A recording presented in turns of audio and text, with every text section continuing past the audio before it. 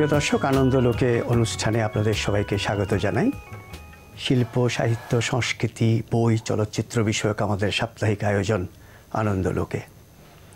আমরা আজকে আমাদের অনুষ্ঠানের বিষয় নির্বাচন করেছি, কবিতা জনপ্রিয়তা হারাচ্ছে কেন? এই অনুষ্ঠানে অংশগ্রহণ করার জন্য যারা স্টুডিওতে আমন্ত্রিত হয়েছেন, তাদের সঙ্গে আপনাদের পরিচয় করিয়ে দিই। আমার সামনে বাঁদিকে রয়েছেন বিশিষ্ট কবি হাবিবুল্লাহ সিরাজি, যিনি জাতীয় কবিতা পরিষদের সভাপতি ছিলেন। তার পাশে রয়েছেন জনাব মনিরুল হক, বাংলাদেশের বিশিষ্ট প্রকাশক, অনন্যা, সেই অনন্যার সত্ত্বাধিকারী মনিরুল হক, যারা অনেকগুলো কবিতার বই, কবিতা সংকলন, নির্বাচিত কবিতা প্রকাশ করেছেন। আমাদের বিষয়, কবিতা জনপ্রিয়তা হারাচ্ছে কেন? এই অনুষ্ঠানের যারা তরুণ দর্শক, যারা বাংলা কবিতার সেই সোনালি দিনগুলো দেখেননি, তাদের জন্য সংক্ষেপে দু একটা কথা বলেই আমি আলোচকদের কাছে চলে যাব। বাংলাদেশে কবিতা, আধুনিক কবিতা প্রথম দৃষ্টি আকর্ষণ করে উনিশশো উনপঞ্চাশ সালে আশরাফ সিদ্দিকী এবং আব্দুর রশিদ খান সম্পাদিত নতুন কবিতা সংকলনের মাধ্যমে। সেই প্রথম একসঙ্গে এক মলাটের মধ্যে সুনির্বাচিত বাংলা কবিতা স্থান পায়, যেটা এই অঞ্চলের পূর্ব বাংলার কবিদের রচনা। এরপর উনিশশো তিপ্পান্ন সালে হাসান হাফিজুর রহমান সম্পাদিত একুশে ফেব্রুয়ারি সংকলনে একসঙ্গে আট দশটি কবিতা বহু পাঠকের দৃষ্টি আকর্ষণ করে। এরপর বাংলাদেশের রাজনীতিতে সামাজিক জীবনে অনেক পরিবর্তন হয়। মার্শাল্য আসে আটান্ন সালে সাহিত্য চর্চা ঠিক সেভাবে হয়নি। তবু এর মধ্যে বাংলা কবিতায় আধুনিক কবিরা অনেকগুলো সংকলন নিজেদের কবিতার বই প্রকাশ করে। তবে সেই সময় বাংলা কবিতার এত জনপ্রিয়তা ছিল না। মনে রাখতে হবে, পঞ্চাশের দশক বা ষাটের দশকে পূর্ব পাকিস্তানের জনসংখ্যা ছিল মাত্র সাত আট কোটি। ঢাকা শহরের এই জনসংখ্যা কয়েক লাখের মতো। এখন দুই কোটি লোক ঢাকায় বাস করে। আমরা দুই কোটি লোকের ঢাকা শহরের কবিতার বই বিক্রি হচ্ছে কতটা এটা নিয়ে যখন আলোচনা করি, পঞ্চাশের দশকের কথা স্বাভাবিকভাবেই আমাদের তুলনাটা সেভাবেই করতে হবে। তখন কয়েকজন কবি কবিতার বই বেরিয়েছে এবং পাঠক সমাজে দৃষ্টি আকর্ষণ করেছে। যেমন আহসান হাবিবের সারা দুপুর ছায়া হরিণ ফরুক আহমদের সাত সাগরের মাঝি, আবুল হোসেনের বিরস সংলাপ, শামসুর রহমানের প্রথম গান দ্বিতীয় মৃত্যুর আগে রৌদ্র করটিতে সৈয়দ আলী হাসানের সহসা সচকিত, আল মাহমুদের কালের কলস লোক লোকান্তর, আবু জাফর উবায়দুল্লাহ সাতনরির হার। এরকম অনেকগুলো কবিতার বই সানাউল হক, আব্দুল গনি হাজারি, হাসান হাফিজুর রহমানের বিমুখ প্রান্তর। এই একষট্টি থেকে সত্তরের মধ্যে, আটষট্টি, উনসত্তরের মধ্যে অনেকগুলো কবিতার বই পাঠকের দৃষ্টি আকর্ষণ করে। এবং সীমিতভাবে হলেও সেই কবিতার বইগুলোর পাঠক ছিল। তারপর উনিশশো একাত্তর সালে বাংলাদেশ স্বাধীনতা লাভ করে এবং স্বাধীনতার পর বাংলা কবিতা, আধুনিক কবিতার একটা বিরাট জোয়ার আসে। আমি প্রথমে হাবিবুল্লাহ সিরাজিকে বলব, এই জোয়ারের বিষয়টা যদি আপনি একটু আমাদেরকে জানান। জোয়ার শব্দটি খুব আপেক্ষিক শব্দ। এ তো হঠাৎ করে আসে না, এর জন্য একটি সূত্র লাগে, প্রারম্ভিক একটি কার্যকরণ লাগে। ছেষট্টি সনে থেকেই আমাদের ভেতরে যে একটি সাহিত্য শাসনের চিন্তা আমাদের মাথায় আসলো রাজনৈতিকভাবে, তারই প্রেরণায় রাজনৈতিকভাবে, সামাজিকভাবে এবং কবিদের ভেতরেও এক তাদের চেতনায়, তাদের রক্তের ভেতরে অন্য একটি রং, অন্য একটি ধমনীতে অন্য একটি বর্ণ খেলা করতে শুরু করল। আমরা নাম করেই বলতে পারি, তখন যে ভাবটি ছিল ষাটের দশকে যারা কবি ছিলেন, তারা পশ্চিমের দিকে মুখ চেয়ে বাংলা কবিতাকে আধুনিক করার প্রচেষ্টায় লিপ্ত ছিলেন। কি আব্দুল মান্নান সৈয়দ, কি রফিক আজাদ, কি মোহাম্মদ রফিক, কি শিকদার আমিল হক, কি আসাদ চৌধুরী এবং আরও অনেকে ছিলেন। তার পাশাপাশি এসে একজন নির্মলেন্দু গুণ কিংবা একজন আবুল হাসান অন্য কবিতা লেখার চেষ্টা করলেন। আমি সে সময়ে নির্মলেন্দু গুণের হুলিয়া কবিতাটি দিয়ে আমি শুরু করতে চাই। হুলিয়া একটি রাজনৈতিক কবিতা, একটি সামাজিক কবিতা, একটি চেতনার কবিতা, একটি মানুষের জন্য, গ্রহণ করার জন্য এবং ভেতরে ধারণ করার জন্য একটি কবিতা। কেন গ্রহণ করল? নিজের ভেতরে মাটির সঙ্গে তার অধিকারের অংশটুকুকে যুক্ত করতে পারল এবং পাঠক গ্রহণ করল। এই পাঠক কারা? এ পাঠক বাংলাদেশের তরুণ সম্প্রদায়, এ পাঠক বাংলাদেশের বোদ্ধা সম্প্রদায়। এবং আপনি যে প্রশ্নে এসছেন স্বাধীনতার পরে, এরই জোয়ার ধরে একাত্তরের মুক্তিযুদ্ধ আমাদেরকে এমন একটি পর্যায়ে নিয়ে গেল যে আমরা সঙ্গীতে, আমাদের ভাষা ব্যবহারে এবং অবস্থানের কারণে আমরা একটা পৃথক চেতনা পেলাম। আমরা তখন নুনকে লবণ বলতে শিখলাম এবং আমার এই পদ্মার জলকে পানি বলে শুধু না, এটা বঙ্গোপসাগর পর্যন্ত প্রবাহিত করলাম নিজের পলি দিয়ে। আমরা একাত্তরের ষোলোই ডিসেম্বর বিজয় অর্জন করলাম, আমাদের ভেতর একটা নতুন চেতনা আসলো। এই চেতনার অংশ ধরেই যে কাজটি হলো, সেটি শিল্প সাহিত্যে, বিশেষ করে কবিতায় একটি জাগরণ আসলো। এই জাগরণের হোতা তরুণেরা। তখন তরুণদের বই বেরোচ্ছে, কবিতা পাঠ হচ্ছে এবং এর কেন্দ্রবিন্দু ঢাকা বিশ্ববিদ্যালয়।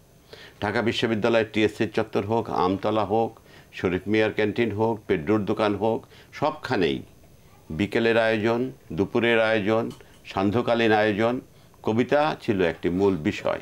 এই কবিতাকে কেন্দ্র করে কবিরা ভিড় জমাচ্ছেন। সেখানে অগ্রজ এবং অনুজের একটি মেলবন্ধন হচ্ছে এবং এটি বিস্তারিত হচ্ছে শুধু ঢাকায় না, ঢাকা থেকে চট্টগ্রামে, চট্টগ্রাম থেকে রাজশাহীতে, রাজশাহী থেকে খুলনায় কিংবা সিলেটে। এই যে শুরুর ব্যাপারটি এই শুরুর ব্যাপারটির আগের কথা আমি আপনাকে বললাম এবং এটি বিস্তারিত হতে থাকল।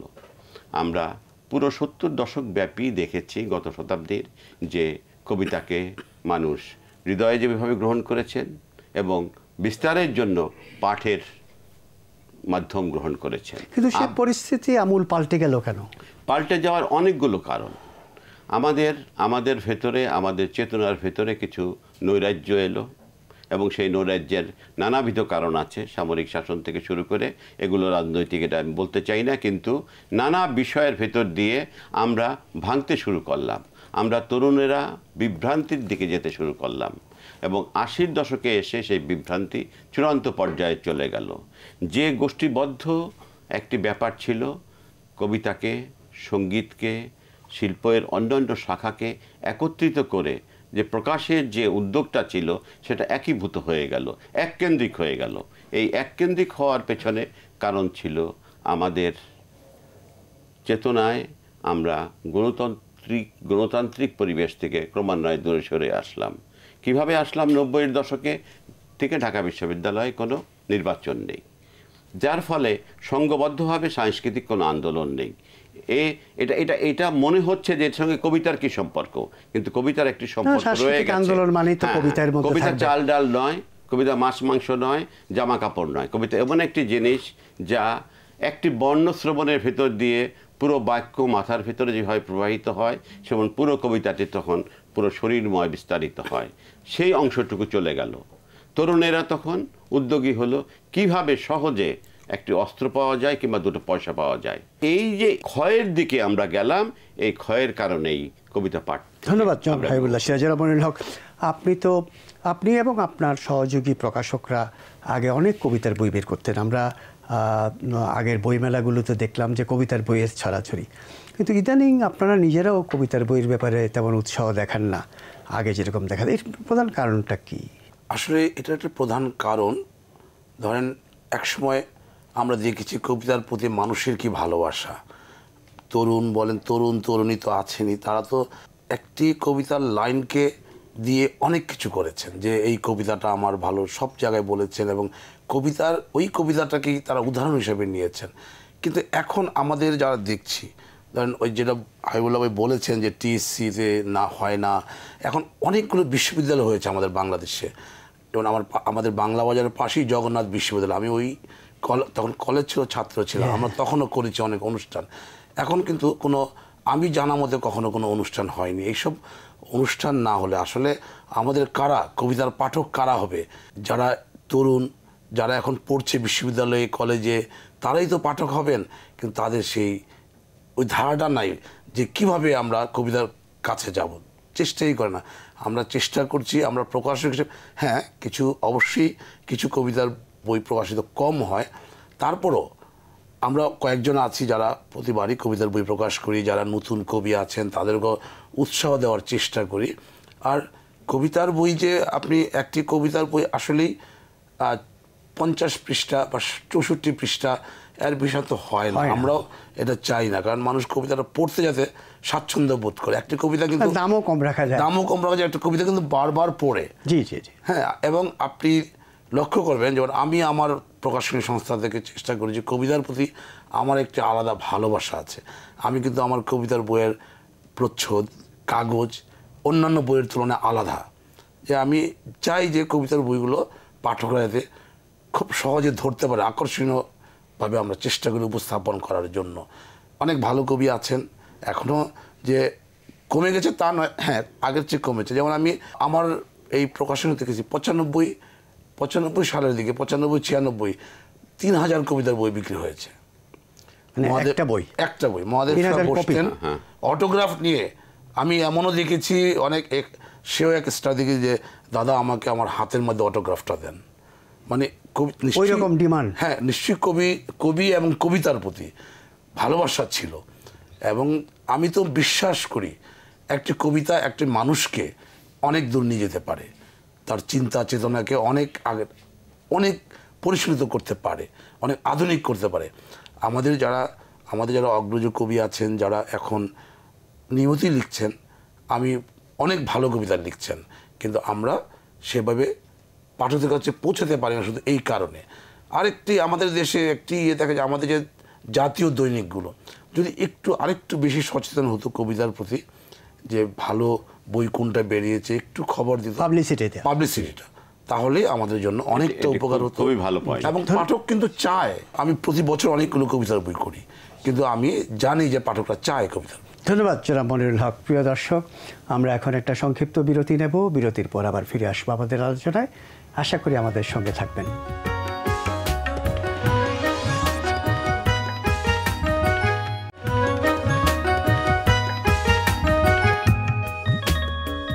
প্রিয় দর্শক, আনন্দ লোকে অনুষ্ঠানে আমরা আবার ফিরে আসছি। আমাদের সঙ্গে থাকার জন্য ধন্যবাদ।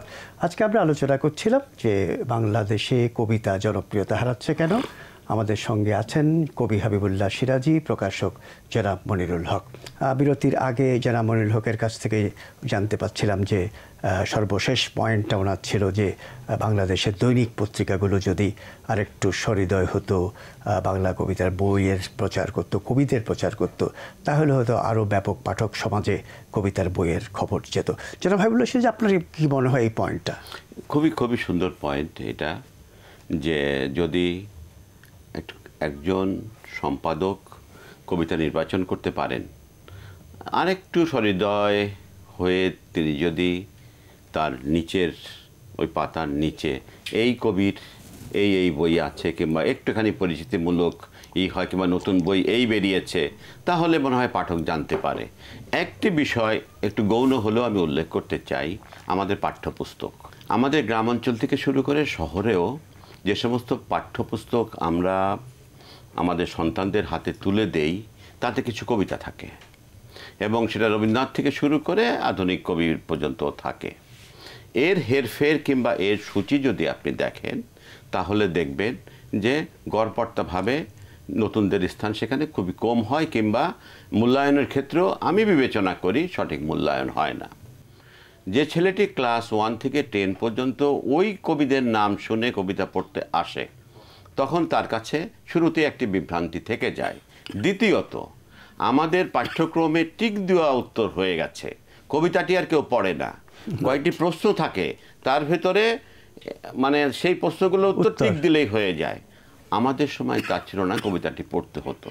কথার কথা বলি শামসুর রহমানের স্বাধীনতা কবিতাটি আমি পাঠ করলাম। পড়ার পরে একটুও যদি আমার ভেতরেই হয় আহা এ কবির লেখা তো আগে পড়িনি আমি আরেকটি লেখা পড়ব। সেই বোধটুকু নষ্ট করে ফেলছে শিক্ষা বোর্ড কিংবা পাঠ্যক্রমের এই বইগুলো। আমি বিবেচনা করি এখানেও একটি দায়িত্ব রয়ে গেছে। কবিতাকে যদি তারা বইয়ে অন্তর্ভুক্ত করতেই চান তবে সঠিকভাবে করুন এবং ওই কবিতার ক্ষেত্রে কিংবা সাহিত্যের ক্ষেত্রে টিকের জায়গাটা তারা তুলে ফেলুন। হ্যাঁ জনাব সিরাজ আরেকটা পয়েন্ট আনতে চাই। তরুণরা যদি অভিযোগ করে যে আগের মতো সেরকম কবিতা তো আমরা পাচ্ছি না। কবিতা পাচ্ছি না কি কারণে অভিযোগ করবে? কবিতার অভিযোগের কবিতা নিজস্ব একটা মাপকাঠির ভিতরে চলে বেসিক কিছু হিসেবে চলে। একটি বিষয় থাকে একটি ছন্দ থাকে এবং একটি মেসেজ সে দেয়। আমি তো বিবেচনা করি, যেটি কবিতা হিসাবে আপনি বিবেচনা করবেন, সেটি এই সবগুলো গুণই ধারণ করে। কোনোটা অন্য, কোনোটা একটু বেশি। তবে পাঠেরও যিনি পাঠ করবেন, তার মাপটাও তো আমার তুলে নিতে হবে। এখানে হৃদয়বৃত্তির কোনো পাঠ নেই, দর্শনের কোনো পাঠ নেই, সংস্কৃতির কোনো পাঠ নেই, ইতিহাসের কোনো পাঠ নেই, সমস্ত পাঠ অর্থনীতির। এবং এই অর্থনীতির পাঠের সঙ্গেও কবিতা যুক্ত হতে পারত। তার জন্য যেরকম রাষ্ট্র কাঠামো, রাষ্ট্র ব্যবস্থা এবং সুবিবেচনা সম্পন্ন জনগোষ্ঠীর দরকার, তা আমাদের ঘাটতি আছে। কবিতা এমন একটি শিল্প যা একা চলে না, আবার সবাইকে নিয়ে চলে। এই চলার ভেতর দিয়ে আপনার শুভবুদ্ধিটুকুকে জাগ্রত যদি না করতে পারি, তাহলে কবিতার সঙ্গে যাত্রা সম্ভব না। আর একজন সৎ মানুষ, সুন্দর মানুষ যদি কবিতার সঙ্গে যাত্রা না করেন, তার জীবন কিন্তু সফল হয় না। সাফল্য আসার জন্য কবিতা নানাভাবে আপনাকে একটি ভাতের সঙ্গে, একটি বস্ত্রের সঙ্গে কিংবা একটি সঙ্গীতের সঙ্গে কবিতা আপনাকে নিয়ত আপনার জীবনের শেষ প্রান্ত পর্যন্ত নিয়ে যায়। ধন্যবাদ সিরাজি যারা মনির হক, আপনি একটু আগে মহাদেব শাহর একটা গল্প বলছিলেন যে তিন হাজার কপি বিক্রি হয়েছিল এবং অটোগ্রাফ দিচ্ছিলেন মহাদেব সাহা আপনার স্টলে বসে। তো মহাদেব শাহ তো অনেক আগের কবি এবং তারকা কবি একজন বলা যায়। সমসাময়িক কালে সেরকম কোনো কবির সাক্ষাৎ আপনি পেয়েছেন যে পাঠক এসে তার বইয়ের খোঁজ করছেন, তার অটোগ্রাফ নিতে চাচ্ছেন? সেরকম কবি কি সামনে এসেছে? এখনও অনেক ভালো কবিতা লেখেন তরুণরা। কয়েকজন আছে যারা উল্লেখ করার মতো। কিন্তু ওই ওইভাবে পাঠকদের কাছে তারা এখনও পৌঁছতে পারেনি নির্মুদ গুণ হাইবুল্লাহ সিরাজি আল মাহমুদ শামসুর রহমান রফিক আজাদ। রফিক আজাদ এদের নামটা কিন্তু সবাই জানে মানে কবি হিসেবে জানে। কবি হিসেবেই জানে এবং তাদের কবিতা দিয়েই কিন্তু তারা পাঠকদের হৃদয়ে জয় করে। নিয়েছেন। কিন্তু আমাদের এখন তরুণ যারা কবিতা আছেন ওই যে বললাম আমাদের সাহিত্য পাতাগুলো আর একটু রিচ হলে আমার মনে হয় ভালো হতো। তারা ঠিকভাবে সেভাবে পাঠকদের কাছে পৌঁছতে পারে না। আরেকটি ব্যাপারও আছে একজন এখন দেখি আমি একজন তরুণ কবি আমি তাদেরকে কোনো ইয়ে করছি না যে কয়েকটা কবিতা লিখে একটা বই বের করার জন্য অস্থির হয়ে যায়। আসলে তা ঠিক নয়। আমার দৃষ্টিতে জি। যে একটু তোমার মানটা যাচাই করো ভালো করো আর একটু পত্রিকায় লেখালেখি করে দৈনিক পত্রিকাগুলো লেখো সাপ্তাহিকগুলো লিখলে পাঠকদের একটু সারা নিয়ে সেই রকম কবিতা যে কী ধরনের কবিতা চায় পাঠক তারপরে আমি একটা বই আকারে প্রকাশ করেছি। আমি কিছুক্ষণ আগেই আমার শ্রদ্ধ সিরাজে শুনেছি যে কতটি বই বেরিয়েছে, কত কষ্ট করে বই বের করেছে তখন যারা কবিতা লিখেছেন এবং কতটুকু যাচাই বাছাই করে একজন কবিতা লিখেছেন আরও চারজন বড় কবি তাদের কবিতা পানের দেখে দিয়েছেন, প্রুফ দেখে দিয়েছেন। আর এখন কি করে, কাউকে দেখায় না। না দেখে একটা বই প্রকাশ করে, যার জন্য এই প্রবলেমটা হয়। তরুণরা প্রকাশ মাধ্যম সহজ হয়ে গেছে ওয়েব ম্যাগাজিন হয়েছে ব্যক্তিগত ব্লগ হয়েছে ফেসবুক আছে। এই সব কারণে তারা নিজেরা মনে করে যে আমি তো লিখেছি এবং আমার আমার দায়িত্ব লেখা এবং এটাকে পাঠকের কাছে পৌঁছে দেওয়া। অতএব পৌঁছে দেওয়ার জন্য তারা মুদ্রিত আকারে একটি বই করতে চায়। আর এই বই করার পেছনেও একটু একটু লজ্জাও সঙ্গেও বলতে হয় যে নিজের অর্থ তারা বিনিয়োগ করে অনেকেই। অনেকেই অনেক অর্থ বিনিয়োগ করে এবং এই অর্থ বিনিয়োগ করে এবং নিজেরা সেই বইগুলো আবার নিজেই কেনে এবং কিনে বিতরণ করে কিন্তু বিতরণ করার পরে যাদের কাছে বিতরণ করে তারা পাঠ করেন কিনা প্রতিক্রিয়া কি সব মিলিয়ে যদি আমাদের সংবাদপত্র কিংবা কোনো সাহিত্যের কাগজ এর একটি মানে রিসার্চমূলক গবেষণামূলক কাজ করতেন যে কি কবিতা লেখা হচ্ছে এবং তার তার ফলাফল কি হচ্ছে। তাহলে অনেক বিভ্রান্তির হাত থেকে যারা জেনুইন পাঠক, তারা বাঁচত। এবং আমি মনে করি কবিতার উত্তরণের জন্য সঠিক সম্পাদনা এবং যোগ্য প্রকাশনা সংস্থা সেই সেই কাজটি করবে এবং বিতরণ ব্যবস্থার জন্য সহায়ক ভূমিকাও পালন করতে পারে আমাদের দৈনিক পত্র, দৈনিক পত্রিকাগুলো এবং এবং সাহিত্যের কাগজগুলো। প্রচুর পরিমাণে যতটুকু সম্ভব বিজ্ঞাপন করা এবং পাঠকের কাছে বইয়ের খবরটি পৌঁছে দেওয়া। ধন্যবাদ জনাব ফাইবুল্লাহ সিরাজি, ধন্যবাদ জনাব মনিরুল হক। প্রিয় দর্শক, আজকে আমরা আলোচনা করছিলাম কবিতা জনপ্রিয়তা হারাচ্ছে কেন? অনেকগুলো কারণ চিহ্নিত করেছেন আমাদের সম্মানিত অতিথিরা। এটা এক দিনের একটা নির্দেশে আবার সেই জনপ্রিয়তা ফিরে আসবে এমন নয়। এর জন্যে সামাজিক পরিবেশ, রাজনৈতিক পরিবেশ, বিভিন্ন বিশ্ববিদ্যালয়ের পরিবেশে একটা বিরাট পরিবর্তন আনতে হবে। তার কারণ হচ্ছে আমরা যদি অতীতের দিকে তাকাই তাহলে দেখব তরুণরা এবং ছাত্রছাত্রীরাই বাংলা কবিতাকে, বাংলা কবিতার বইকে জনপ্রিয় করেছে। বোদ্ধা পাঠকরাও কবিতার বইয়ের অনুগ্রাহী ছিলেন, কিন্তু প্রধানত তরুণদের হাতেই বাংলা কবিতা জনপ্রিয়তা পেয়েছে। কাজেই সেই তরুণ এবং ছাত্র সমাজ নানান কারণে, সে কারণগুলো আমাদের অতিথিরা চিহ্নিত করেছেন, নানান কারণে কবিতা পাঠ থেকে চলে গেছেন, কবিতার সেই আকর্ষণ থেকে তারা অনেক দূরে সরে গেছেন। তারা যদি আবার কবিতা পাঠে ফিরে আসেন, তারা যদি আবার কবিতা চর্চায় ফিরে আসেন এবং পাশাপাশি আমাদের দৈনিক পত্রিকা, সাপ্তাহিক পত্রিকা, সাহিত্য পত্রিকাগুলো নতুন কবি এবং নতুন কবিদের কবিতার বইকে নিয়ে আরও আলোচনা, সমালোচনা করেন, তাহলে হয়তো পাঠক সমাজে তাদের একটা পরিচিতি বাড়বে এবং অনেক পাঠক আগ্রহী হবেন তাদের কবিতার বই কিনে পড়ার জন্য। আবার আমরা হয়তো কোনো দিন মনিরের অনন্যার মনিরুল হকের কাছে শুনব, নতুন একজন কবির কবিতার বই তিনি তিন হাজার কপি ছাপিয়েছেন। সেই দিনটি হয়তো খুব বেশি দূরে নয়, যদি তরুণ সমাজ এ ব্যাপারে এগিয়ে আসেন। আজকের আনন্দলোকে অনুষ্ঠান, আমরা এখানেই শেষ করছি। সবাইকে অনেক ধন্যবাদ। শুভরাত্রি।